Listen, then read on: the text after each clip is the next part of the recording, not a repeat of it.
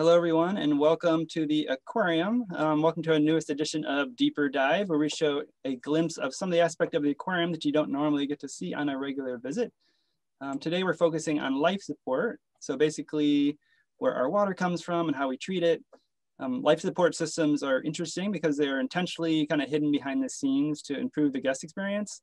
Um, but it's really the most important aspect of the aquarium because every single animal relies on our clean water. Um, I am Jeff Harms, the education manager here, kind of hosting. Um, and today we're joined by Chris Brady, who's our curator of life support.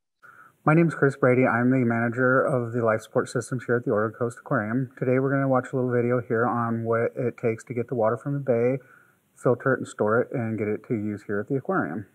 So this is our seawater intake. It's actually a dock attached to the OSU dock out in Yaquina Bay where we pick up all of our salt water from. We have two redundant pumping systems that run 50 horsepower pumps and a redundant piping system that takes this water to our seawater storage. We use vacuum pumps to actually draw up the water to the pumps to prime them. Uh, everything comes through uh, screens on the suctions of these pumps. The pumps have a uh, high density polyethylene suction line that we use the pumping or the piping system is redundant and can be used with either one of the pumps. So, uh, in case that we have a line fail on one side and a pump fail on the other side, we can still get our water to our storage. Uh, we don't use utilize chemicals to clean our pipes. We uh, switch them back and forth quarterly and allow the salt water in them to go anaerobic, killing off any of the growth, and we flush them out and switch to that line. Our uh, intake system is about 3,000 feet away from our seawater storage. We pump it to seawater storage and we store half a million gallons of raw seawater that's unfiltered. It's in two separate reservoirs, so we have the ability to drain one to clean it that we do uh, biannually, and we swap those back and forth between the two reservoir systems. We do utilize a little bit of this raw water to the main building to one exhibit, our outdoor wave crash that has a lot of filter feeders in it. So that water we do not filter before we take to that exhibit for so they can feed on it. Uh, at our seawater storage, we have the capability of filtering our water at a full thousand gallons a minute to the building. Uh, our intake system is capable of maintaining that thousand gallons a minute to storage. We can run that filtering system all the way down to 70 gallons per minute if needed be, and all the way up to the thousand gallons a minute for service during the morning hours. Uh, the system is monitored by a computer control system that monitors the salinity and temperature of the waters. This system monitors all of that uh, parameters and automatically does this for us. So during the low tides at night, high tides during the day, we can either divert the water or use the water as needed. After our seawater filtering, uh, the water travels about another 2,000 feet or a little bit more to our service core that distributes the water between our passages exhibits and all of the outer in pinniped exhibits and all of the main building exhibits. So when we clean our reservoirs, since they're tanks uh, here at the aquarium, uh, we're able to collect the animals out of these tanks as they grow up. They come in real small through our intake screen. And since our reservoirs are full of raw water, there's plenty of food for everything to grow. Uh, when we do clean these, the aquarists come down and collect all sorts of animals from crabs to shrimp to fish and sea stars and one of our last cleanings of our uh, smaller diverter basin had over 200 sea stars in it the last time we drained it, which was an amazing sight when all the water drained out of it. Um, and we just rinse these out. We fire hose out all of the sediment, but we don't scrape all the animals off the wall or sterilize them because we use that as part of our filtering process. We can use up to a million gallons of salt water in one day just to do all the service work to all of our passages filters, uh, mammal systems, and all the main building systems. And that a lot of that water usage comes in about a four and a half hour period, five hour period. And we reduce heavy flow because we don't need all that flow for middle of the night, things like that. People aren't here working to service things reason we store a lot of uh, half million gallons of salt water is the bay does not stay in good salinity or good temperature. Mainly the salinity can go out during the wintertime and during the beginning of the summer months, the temperature can get a little high or later in the summer months, depending on when the offshore winds and the upwelling occurs. So our saltwater temperature can fluctuate greatly from the bay from close to 45 degrees all the way up to 65, 67 degrees.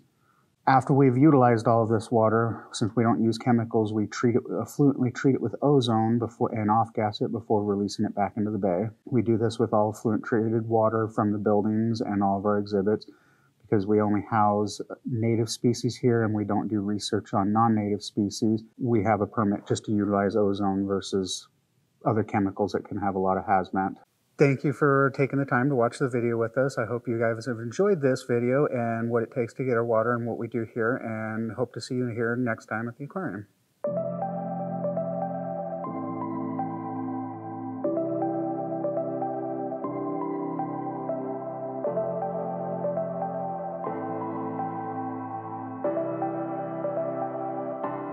It is, and we treat that, that exhibit and our changing exhibits a little differently.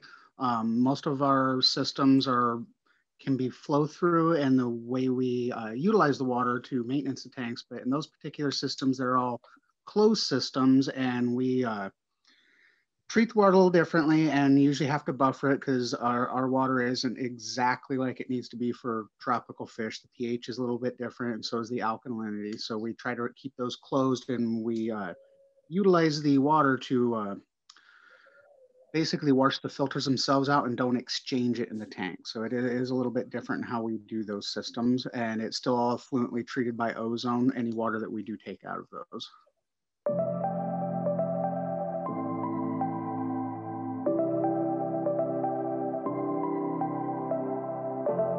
They collected a few of them to put in some of the exhibits uh, in the main building and the rest of them we leave in place because uh, the walls are coated with mussels, everything else that they eat. So they're not laying on the bottom; they're all stuck to the walls. So we get rid of the sediment and fill it back up with new salt water.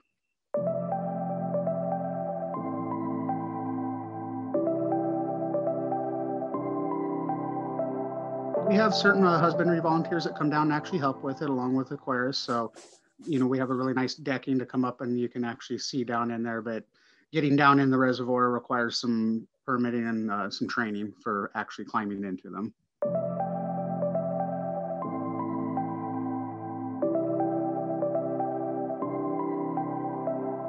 Uh, power outage, we actually have backup generators at the main building, has its entire one that serves all the systems there. We have another generator at the Passages of the Deep that does all of that and our uh, industrial holding areas. And then we have a generator at our seawater storage that allows us to actually still pump the water. The only place we do not have a generator is our intake dock because of it sits over the water and they don't want to store fuel over top of the water. But we can get by with what we have stored in water up to a week's time, depending on how we use it.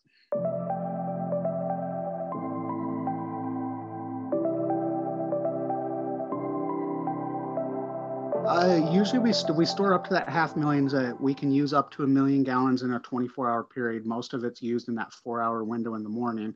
And then we reduce flow for certain systems that have flow throughs to on native things. Uh, the outdoor wave crash that uses raw water, that always has so much water going into it 24 hours a day.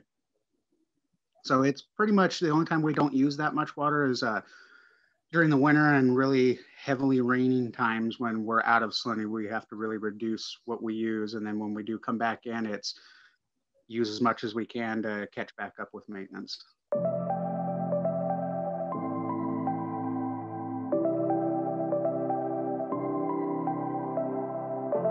We have protocols for that. We have emergency shutoffs and uh, so does Hatfield. So if NOAA has any type of spills or there's any spills, uh, we're notified by either Coast Guard or State Patrol because State Patrol takes uh, oversight of the Hatfield intake.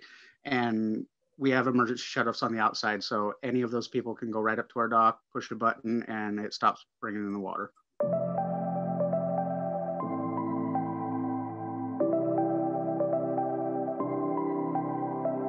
So the anaerobic, uh, everything uses oxygen out of the water, whether it's living living in the water. So when we close that off and stop bringing in new water, they basically exhaust all of the oxygen out of it, which turns it anaerobic. And then the animals themselves, their the growth that we're trying to get rid of, the dying of that creates a hydrogen sulfide that helps kill off everything else, which is that rotten egg smell you smell in the bay during low tide. And that helps clean all the pipes out. And we rinse that back out and ready to use.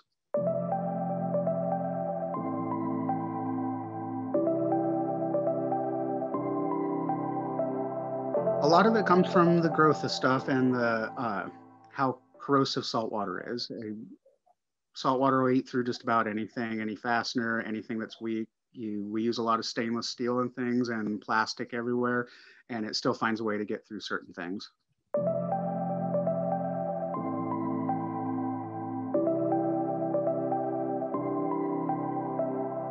There are, uh, we have a lot of foam fractionators or protein skimmers uh, on a lot of the systems, or some of the bigger ones are on the passages systems. Uh, we utilize a lot of UV sterilization as well.